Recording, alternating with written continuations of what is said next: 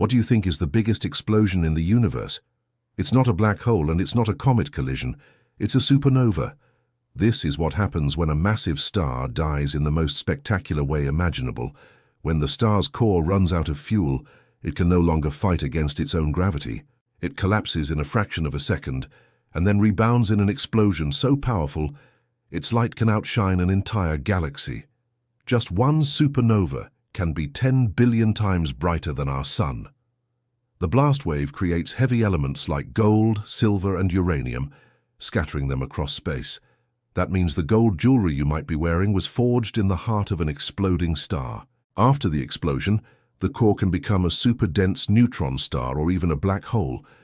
A supernova isn't just an ending, it's a cosmic event that seeds new worlds. What should we explore next? Neutron stars or black holes? Let me know in the comments, and don't forget to like and subscribe for more space adventures.